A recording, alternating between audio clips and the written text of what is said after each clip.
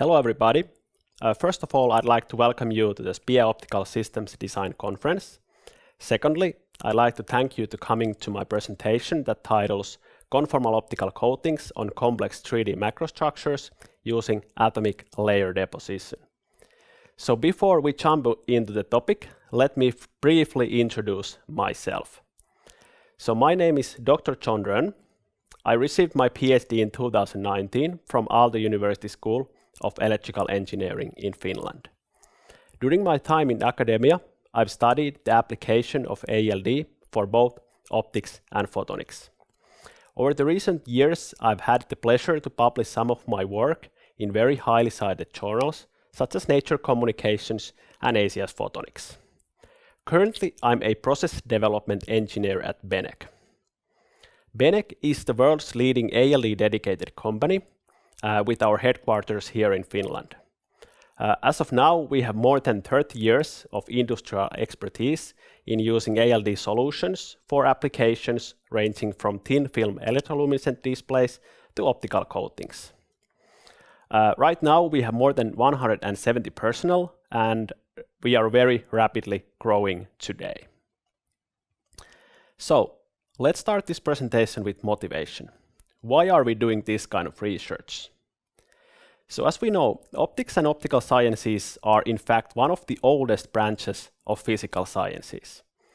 Uh, however, optics is still a very relevant technology today as it is being very widely used uh, in all kinds of devices found in everyday life. These can be, for example, mobile phones, solar cells, or self-driving cars. The reason why optics has gone this far is because the production of optical components is actually a very well-established technology. For example, the state-of-the-art uh, fabrication technologies can be of low cost, low temperature, and also can offer high throughput and also excellent uniformity. However, there is still a one very important feature that is missing from this list, and it is the conformality of the deposition. Conformality is becoming a very important feature as the uh, optical systems today are getting more and more complex. Uh, this is not happening only at the microscale, with examples being micro nanostructures, gratings, or sidewalls, but also on the macrostructures with uh, examples being freeform optics, high curvature lenses, or optical domes, tubes, and rods. So if we take a look uh, of the tra traditional fabrication methods used to produce optical elements, the most widely used one is the PVD process or physical vapor deposition processes. Although PVD processes can offer all the features listed, he listed here as green, uh, these kind of features can only be achieved at the very top structure and typically on a planar uh, surface only. This problem can somewhat be uh, alleviated by switching to a semi-surface controlled gas phase process, uh, such as CVD, for example.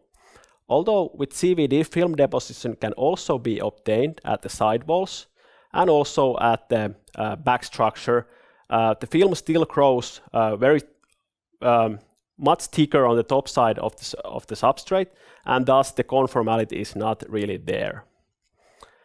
On the other hand, atomic layer deposition, or ALD, can offer perfectly conformal film deposition on even the most challenging surfaces uh, with highest aspect ratios. The reason for this is because uh, the, a layer by layer growth uh, nature of ALD is actually surface controlled rather than a source-controlled gas phase process. So for this reason, ALD has gained a lot of popularity over the recent years, um, not only in optical sciences, but also in other areas of physical and chemical sciences as well. But what exactly is atomic layer deposition?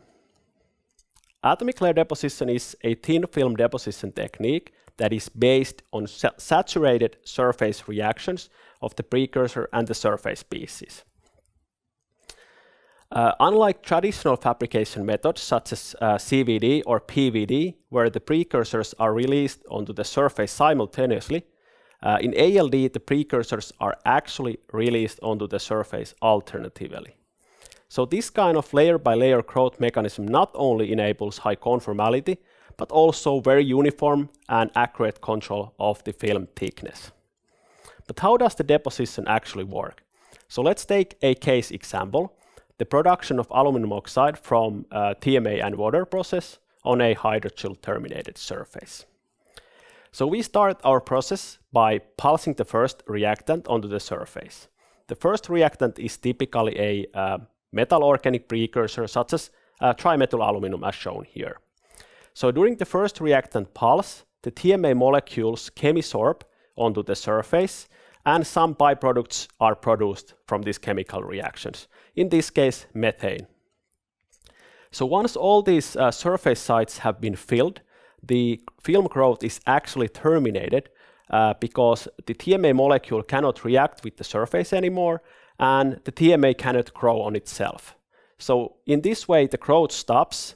And before we continue this process, we want to get rid of all the byproducts uh, that have been generated and all of the excess precursor that is still on the deposition chamber uh, because they could not react with the surface. So this is done with a purge step with an inert gas such as nitrogen or argon, for example. So now we continue our process by introducing the second reactant, uh, typically an oxidizer, such as water in this case.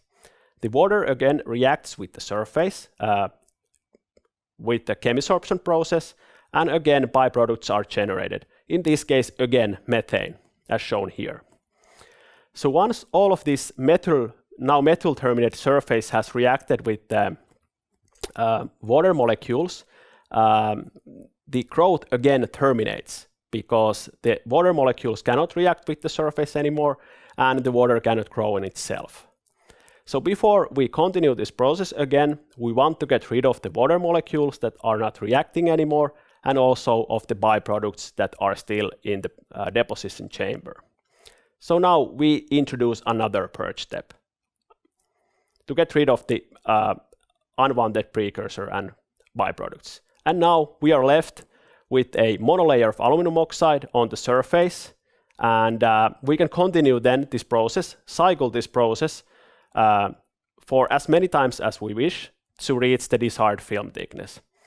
Uh, because one monolayer typically produces roughly one angstrom or one tenth of a nanometer of film, uh, this typically needs to be repeated many, many times, 100 to 1000 times, for example, to reach hundreds or, or tens of nanometers of film. Uh, most materials can be deposited now with this ALD technology in some form. These can be, for example, oxides, nitrides, sulfides, fluorides, or other uh, basic elements, for example. However, it is worthwhile to note that only some of these are actually scalable to mass production. And this is very important when it comes to producing optical components in large scale. So let me now demonstrate how this ALD technology uh, can be applied to produce optical coatings on complex 3D macrostructures. So in this work, we studied the film growth on hemispherical domes or so-called optical domes. For this purpose, we have made this kind of special uh, sample holder uh, made of stainless steel. Uh, it re resembles a hemispherical structure and it can include up to nine samples, one inch wafers typically, such as silicon or si silica, for example. Uh, all of these uh, sample holders or these windows uh, can include sample face up and face down. So this means that we can study how the film grows on both the concave and convex side of the structure. So in this work, we do uh, process development for a variety of low-loss oxides, such as aluminum oxide, titanium dioxide, tantalum oxide, hafnium oxide, and silicon dioxide. The process development is realized with our uh, P400A batch ALD tool, as you can see here. The setup that we use uh, in this work uh, is shown here. So we have a chamber that uh, holds three of these hemispherical domes. Uh, at the bottom, we have a, a dummy dome, actually, and at the middle and top, we have these, our special sample holders. And the, the reason why I have, we have included this kind of uh, dummy at the bottom of this chamber is because we want to mimic the precursor flow as closely as possible in both the upper and the middle uh, dome that we, we study. So we start our uh, process development from aluminum oxide uh, at 70 degrees. So aluminum oxide is a low index material. Uh, it is one of the most studied ALD materials because of its ideal chemistry in, in ALD technology. So uh, we start with the, uh, this process by with 500 ALD cycles, and we basically divide the results into four different sets. So we have uh, film growth on the upper dome at the convex side, uh, film growth on the upper dome at the concave side, and the same for the lower dome. So the upper dome is now actually the, the top one, and the lower dome is the middle one. Uh, but in this case, it's the lower one because we are not measuring anything from the dummy dome. So here you can see the experimental results. Uh, as summary, uh, the average is around 45 nanometers, uh, plus minus 1 nanometers. In percents, it's uh, roughly 1.13 in the case of the upper dome and 1.66 in the case of the lower dome. If you calculate the batch non-uniformity, which is uh, including both of these domes or the entire deposition chamber in this case, uh, it's around 1.66%. Then we uh, studied the next process, which is titanium dioxide at the same deposition temperature, 70 degrees. Uh, titanium dioxide is a very high refractive index material, and um, by performing 1350 ALD cycles, here you can see the experimental results. So as summary, uh, the film grows on average 100 nanometers plus minus 1 to 1.5 nanometers. Uh, the non-uniformity in the case of the upper dome is around 1.5%, and in the case of the lower dome, it's around 1.16. The batch non-uniformity for this uh, process is around 2%. Next, we studied tantalum oxide at 150 degrees. Tantalum oxide is a, also a high refractive index material with very low loss and high purity. Although it doesn't have as high refractive index as titanium dioxide, uh, tantalum oxide actually grows as amorphous at higher temperatures rather than uh, titanium dioxide, which actually starts to crystallize at 120 degrees. So this tantalum oxide is a good substitute for titanium dioxide at higher temperatures. So in this case, we performed 600 ALD cycles, and here you can see the results. On average, we had around 50 nanometers of film, plus minus 1 nanometers. Uh, Non-uniformity in the case of the upper dome is around 1.26, and in the case of the lower dome, around 1.37. The batch non-uniformity for this process was found to be around 2.1%. Uh, next, we developed a process for hafnium oxide at 250 degrees.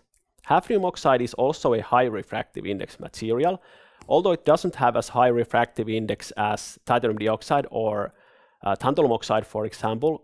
Hafnium oxide has very high or good electrical properties, such as uh, high breakdown voltage, low leakage current, and, and good dielectric strength in general. So it can be used as a, a substitute high index materials uh, in applications where electrical properties are required as well. So in this example, we performed 1100 ALD cycles, and here you can see the results.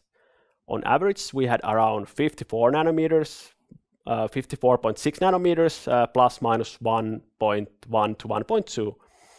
Uh, the non-uniformity in the case of the upper, upper dome and lower dome was found to be around the same, 1.66 to 1.67%. Uh, the batch non-uniformity was calculated to be around 2%. Finally, we developed a process for silicon dioxide at 300 degrees. Uh, the reason why we chose this high temperature is because it's very difficult to find precursors for the silicon uh, to react at lower temperatures without using, for example, ozone or oxygen plasma. So in this case, we used our special ALD process with that allowed basically to deposit only 75 ALD cycles to reach roughly 75 to 8, 80 nanometers of, of high quality film. So in this case, the average was found to be around 78 nanometers, plus minus uh, 2 or, or a little bit less nanometers. The upper dome non-uniformity was found to be 2.33 and the lower dome non-uniformity around 2.05. The batch non-uniformity was found to be around 2.35%. So here you can see the summary of all the developed processes. And here there's actually additional processes that I didn't go through, but they are uh, mostly other temperatures for these five different materials. For example, in the case of aluminum oxide, we had uh, three additional higher temperature processes and two in the case of titanium dioxide, and also one for the hafnium oxide. So for example, here you can see that the aluminum oxide at a little bit higher temperature grows actually very uh, uniformly and conformally, as you can see here.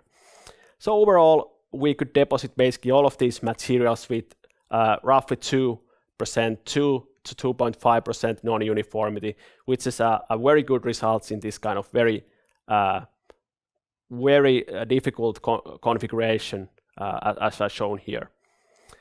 So having developed these processes, we can then use these low and high index materials for all kinds of optical functionalities, ranging from edge pass filters to band pass filters and so on. We can actually also combine some of the precursor chemistries to also realize very high absorbing coatings as well. And this is uh, what I'm gonna show a quick example of. So uh, we deposited 500 nanometers of this aluminum doped titanium carbide using our uh, titanium and aluminum precursors on, on fused silica substrates that are included in this dome configuration. So one inch si silica substrate substrates on both sides of the dome. We measured the transmission from these uh, uh, silica coated uh, wafers and on the visible side you can see measured with the silicon detector we actually basically have less than 0.1% uh, transmission. And at the infrared, as measured with the InGaAs detector, there's basically hardly anything uh, passing through this kind of structure in any, any basically samples included into these dome configurations. So, in conclusion, uh, ALD enables uh, very complex macrostructures to be coated conformally to basically achieve various optical and of course other functionalities in a single process run. This is very important because it saves time and cost because we don't need to twist, rotate or otherwise move the object between a deposition run uh, because the one single process is, is conformal as it can be. Uh, Beneq B-series batch ALD tools are actually ideal for coating these kind of com complex geometries in a single batch, and this was also the case here. So if you have any questions regarding this presentation, feel free to ask in the paper Slack channel. You can also contact me directly via email. Uh, and for more information, you can check our website as shown here. Finally, I'd like to thank you everyone for your time.